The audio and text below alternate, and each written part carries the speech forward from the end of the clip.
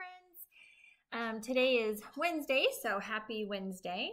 And it's April 8th today, and it's day 21 of missing my kiddos. But the good thing is, again, I'm excited because I got to see quite a few of you today. Let's see. I got to see Hilla, Edwida, Santana, Faith, Devin, Jackson, and Atalia today for um, our Zoom session. So if your parents are interested in doing Zoom, just have them email me and I'll send them the link. And also, I emailed every parent. Um, I had some questions that I needed to ask them that the district needs that information. So I only heard back from four parents. I really, really, really need 21 of you to to write me back and just answer those quick questions for me. That would be wonderful. Um, if you could please do that. All right. Thank you. And today we are reading Henry in the Clubhouse. Oh, yeah. Henry collects. Remember that mean this is chapter four. Henry collects. And collecting is where he has to go house to house and collect money. That's my mom in the background when she was eight, I think. Not sure. Anyway, that's my mama. Henry collects. The day after Halloween was the 1st of November, and that's my grandmother's birthday. Henry regretfully had to leave the building of the clubhouse to Robert and Murph while he called on his subscribers to collect for the journal. Beezus visited the Huggins' backyard and offered to pound nails in Henry's place.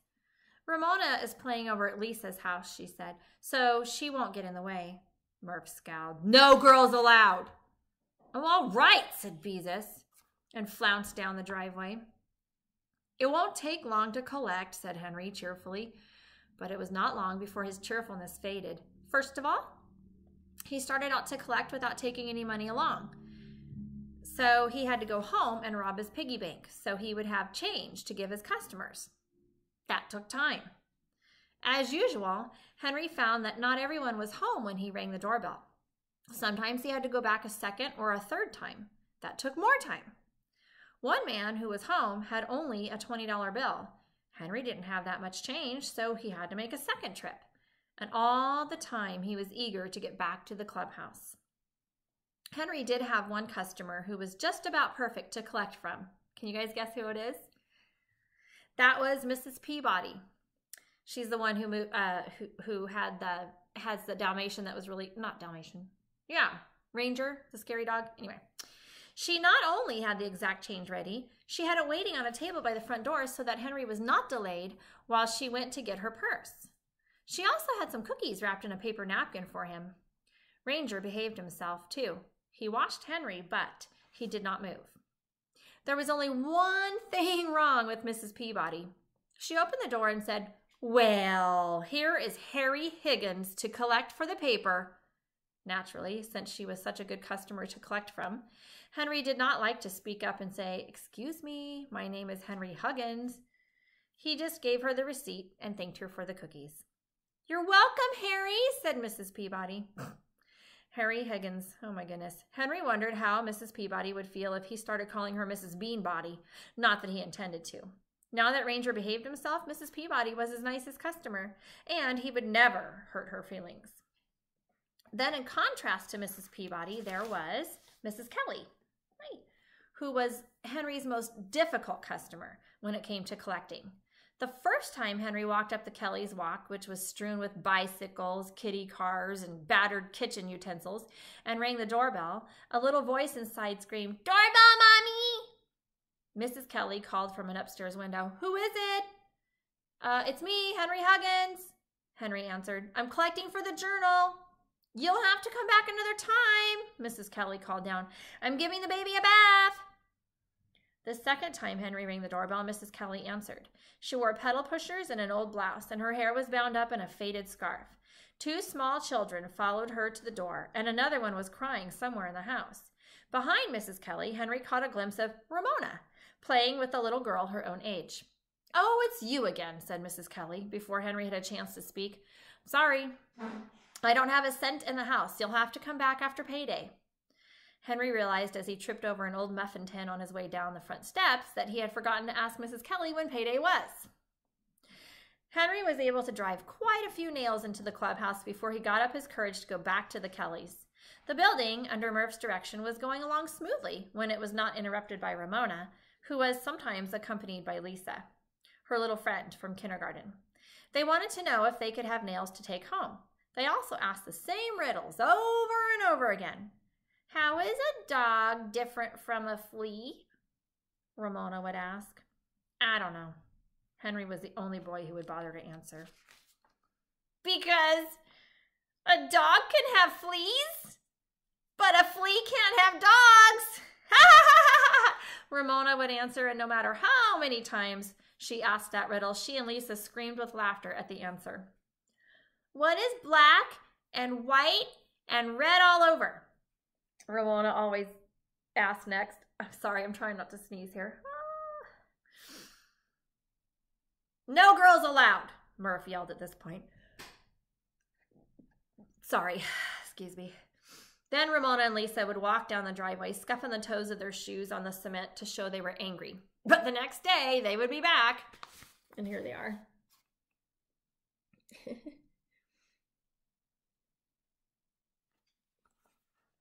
Can't you find a way to get rid of those pesky little girls? Murph asked. Henry could only shrug. There was no easy way to get rid of Ramona. Finally, Henry decided he had to get up his courage to go back to the Kelly's house, or Mr. Capper would start asking him why he had not finished collecting. This time, Mrs. Kelly met him at the door with a baby balanced on her hip. Oh, it's you again, she said for a second time, glancing over her shoulder toward the kitchen where Henry could hear an automatic washing machine running. Come in while I find my purse. Henry stepped into the living room, which was scattered with toys, children's clothing, and crumpled pages torn from magazines. There was a bowl of soggy breakfast food on the coffee table. A little boy who was sucking his thumb was holding an egg beater, looking out the kitchen door. Don't pinch your fingers in the egg beater, Kermit, said Mrs. Kelly. She looked wearily at Henry. Would you mind keeping an eye on the children while I go to find my purse? They are all in the kitchen. Kermit, Bobby, Lisa, and her little friend. Sure. What else could Henry say? Anything to collect and get back to the clubhouse. He stepped into the kitchen where the washing machine was busily swish swashing. Lisa and her little friend, who turned out to be Ramona, um, were kneeling on chairs at the kitchen table cutting circles out of Play Doh with cookie cutters. I know him, said Ramona to Kermit and Bobby. That's Henry Huggins. Let's cross him out, suggested Lisa, laughing wildly, and the two little girls made big, big crisscross motions in the air in front of Henry. There, said Ramona. I guess we crossed him out.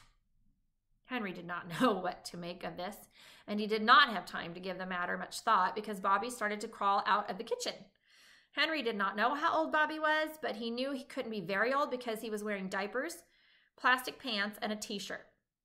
In one hand, he carried a piece of toast. Henry had never seen a baby drool as much as Bobby. As he crawled, he left little puddles on the floor. Henry heard Mrs. Kelly's footsteps going up the stairs. Bobby dropped his toast on the floor. Lisa and Ramona giggled over some private joke. Kermit spun the egg beater and made a noise like machinery with his mouth. The washing machine churned. A dog walked into the kitchen, picked up Bobby's toast, and then dropped it again. It didn't look as if anyone was going to get into trouble, but just the same, Henry hoped their mother would hurry back. He was a paper carrier, not a babysitter. Bobby picked up the soggy toast the dog had dropped and began to chew it. Oh, hey, said Henry, feeling oh feebly. He was pretty sure babies were not supposed to eat toast that had been in a dog's mouth. Gently, he tried to take the toast from Bobby, who clung to the crust and uttered a piercing scream. Henry backed away. Bobby put the toast back in his mouth and gnawed contentedly. Oh, well, thought Henry. Looks like a pretty clean dog. Then Henry discovered Kermit was missing. He stepped into the living room where Kermit was twirling the egg beater in time to see the dog lap up the soggy breakfast food in the bowl on the coffee table. Ew, cut that out, said Henry, even though it was too late to do any good. The washing machine stopped swish swashing and was silent, as if it was resting up before starting to spin. Mrs. Kelly called down the stairs, Kermit, what did you do with my purse? Oh, I put it under your bed so Bobby wouldn't get it, answered Kermit. Henry heard a chair being dragged across the kitchen floor. Followed by Kermit and the dog, he went back to investigate. Ramona was standing on a chair in front of the washing machine. She was not actually doing anything wrong, but knowing her, Henry was not taking any chances. You better get down from there, he said to her. Oh, pooh, said Ramona. the washing machine gave a loud click and it started to spin. Ramona reached toward the lid. What do you think you're doing? Henry spoke more forcefully this time. I don't have to mind you, Ramona informed him. You're just an old boy. She lifted the lid of the washing machine to peek inside. Instantly, dirty water and detergent spun out of the machine with a great whoosh, hitting Henry right in the face, drenching Ramona and spraying the whole kitchen. Cut that out, yelled Henry, snatching Ramona off the chair and slamming down the lid of the washing machine. But not until the jet of dirty water had circled the kitchen several more times. Oh! All the children were howling with fright, and Ramona howled the loudest.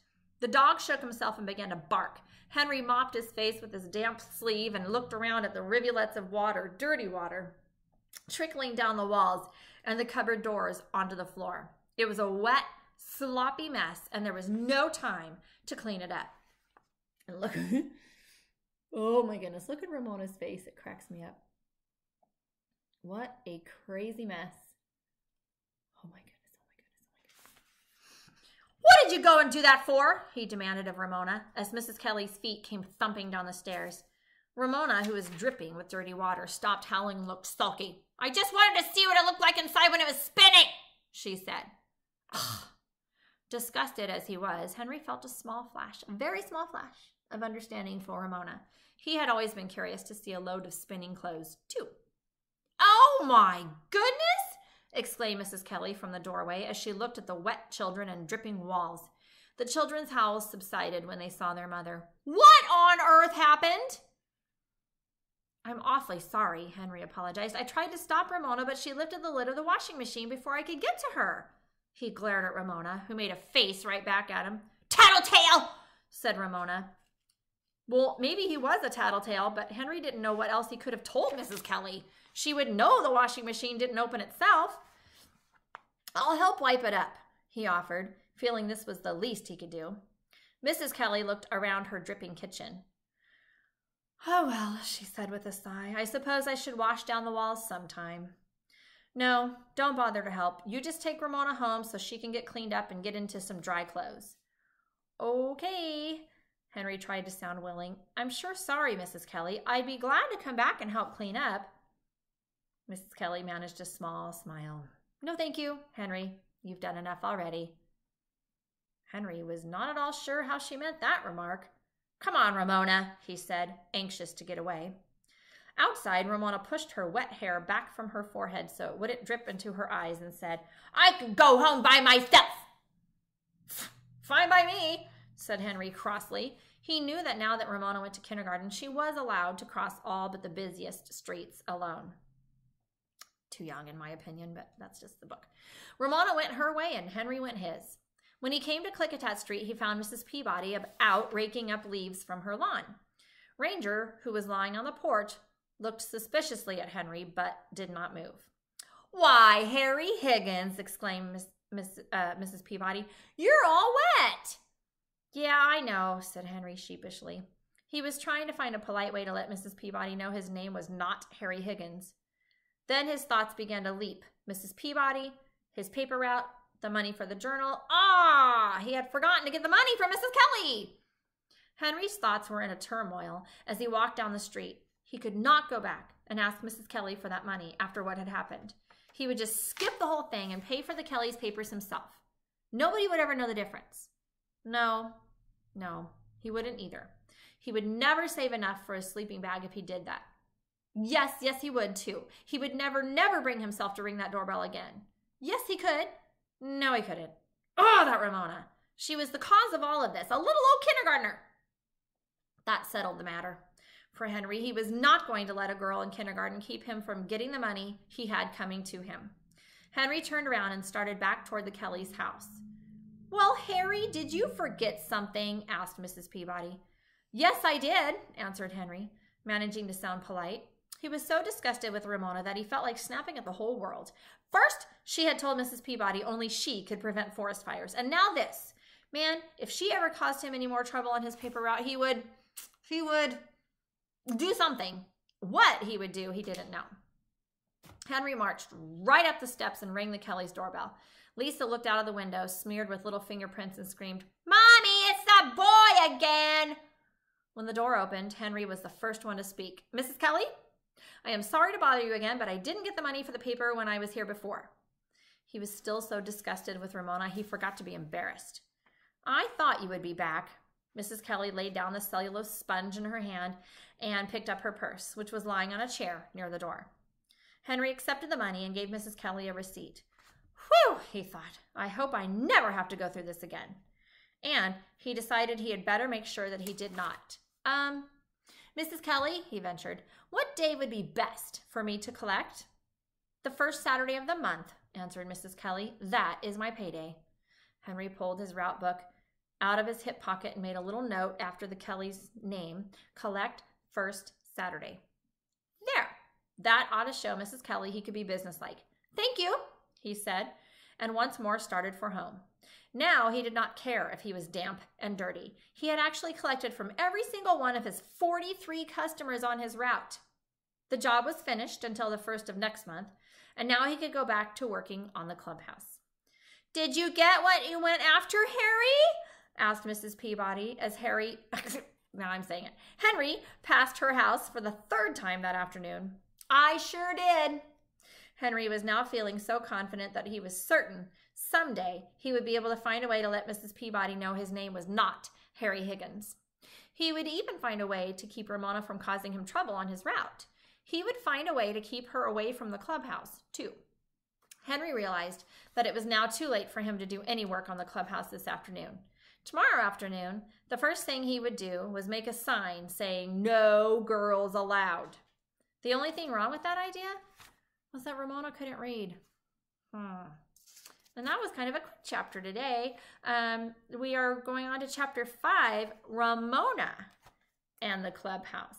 Hmm. Interesting. All right. Please, please, please ask your parents to please email me um, and answer those five questions I asked them. Again, I only I've only had four parents respond. I would really love it if you guys could help me out with that. And um, please stay safe. Tomorrow, parents, you can pick up your packets um, from Brown School if you haven't done so already. And I'll see you guys tomorrow um, on YouTube. Okay, love you guys. Have a great afternoon and stay safe. Bye.